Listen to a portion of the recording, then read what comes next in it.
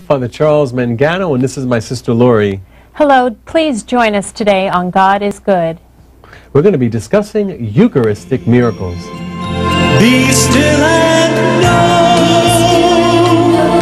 I am your God. With running through the streets and alleys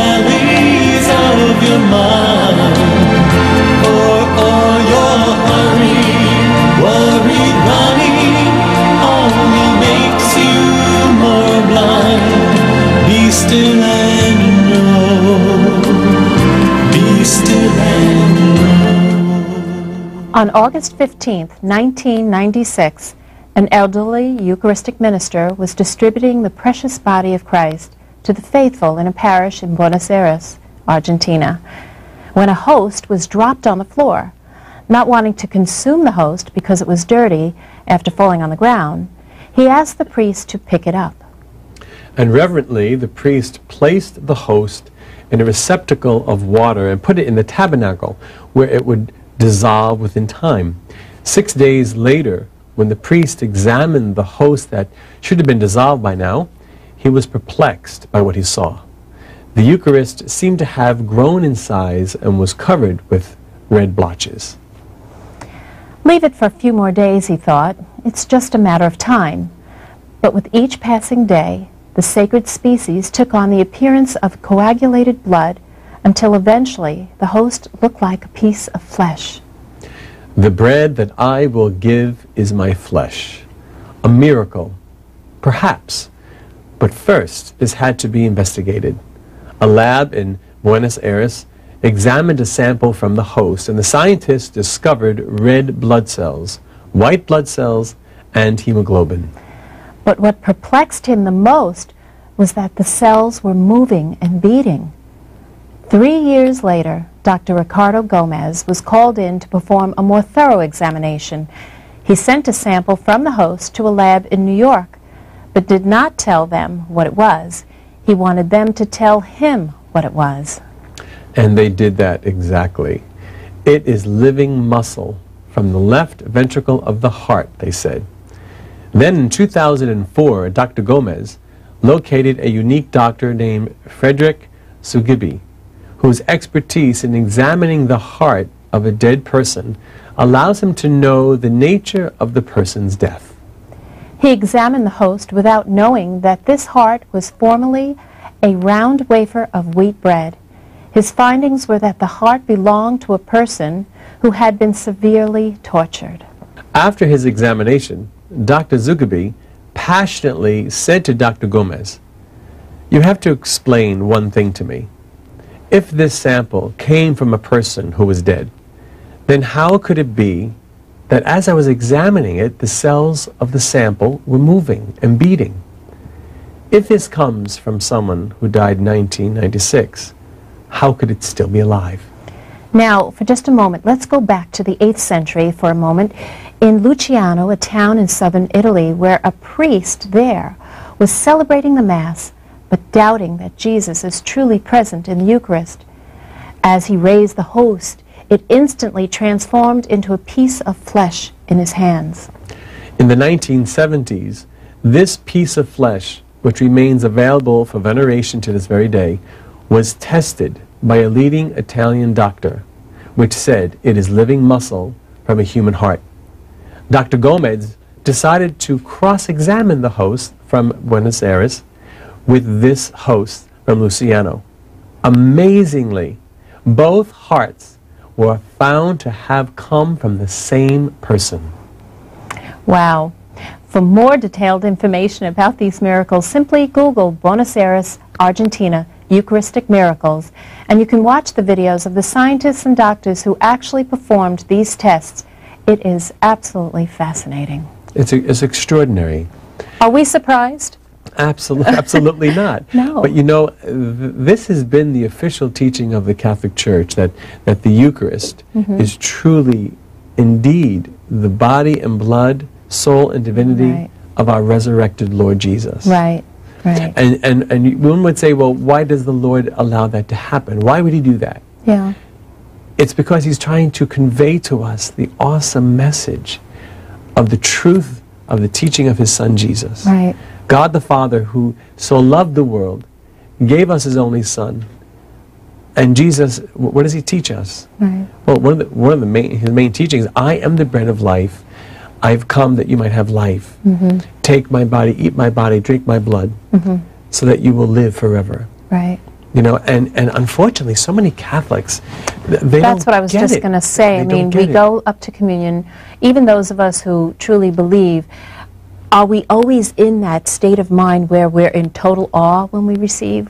We should always be in that state of mind of total awe, and yet we're not.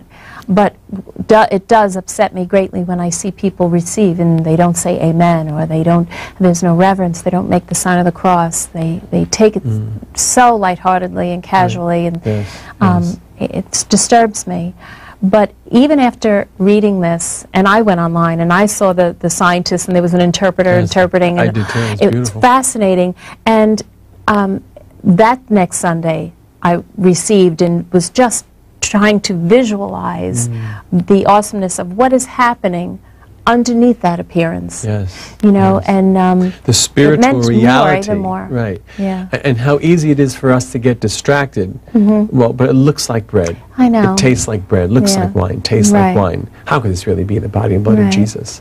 But what we know is during the epiclesis, when we, when the priest we call it down, we call down the Holy Spirit Mm-hmm. upon these gifts, and we say, Lord, send forth your Spirit to come upon these gifts, so that they may become for us the body and blood of our Lord Jesus Christ. Well, Jesus himself knew that it was going to be difficult for people to believe because when he taught this to the apostles and they, some of them started walking away, the disciples, he said, you know, are you going to leave me as well? Be- Mm. He didn't stop and say, oh, no, it was just a symbol. You're misinterpreting what I, I meant. Right, That's not what I meant. Exactly. You know, so So let us grow in our love and, and appreciation for what God has given us, Jesus. Because he is an unbelievable love. Amen.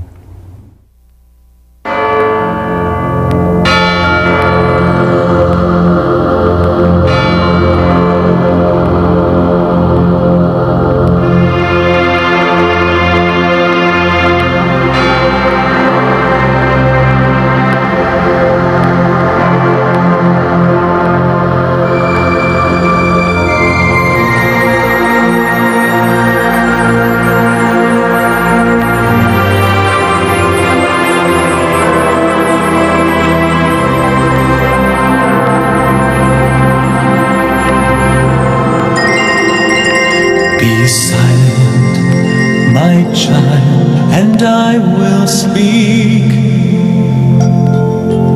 In the still and quiet calmness of your mind,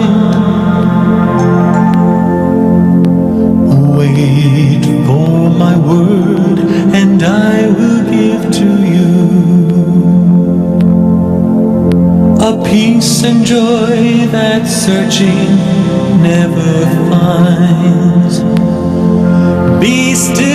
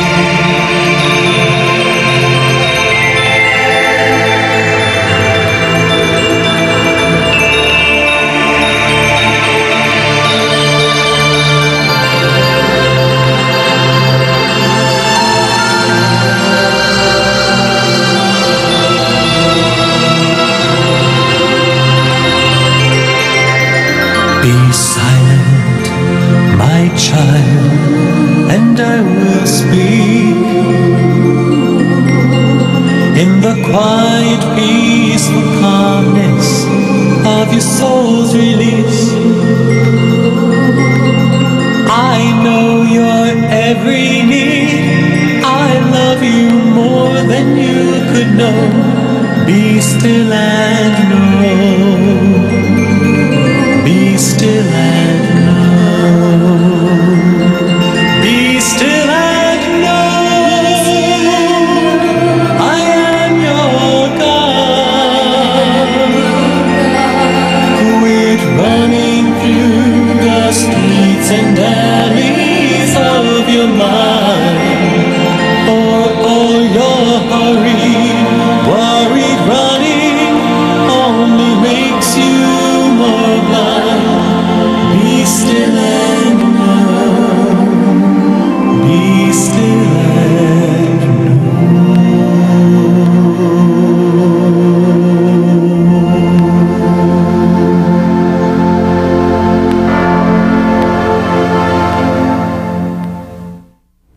So the next time you receive the Holy Eucharist, let the Lord speak to your heart, saying, Know that I am your God.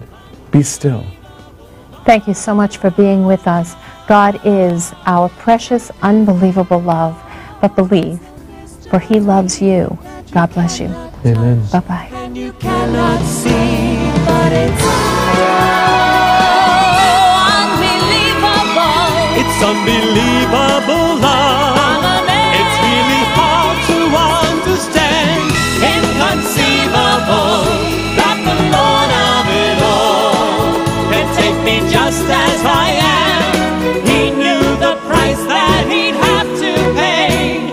love brought him to me anyway. I'll tell ya, unbelievable, unbelievable inconceivable that the Lord of it all can take me just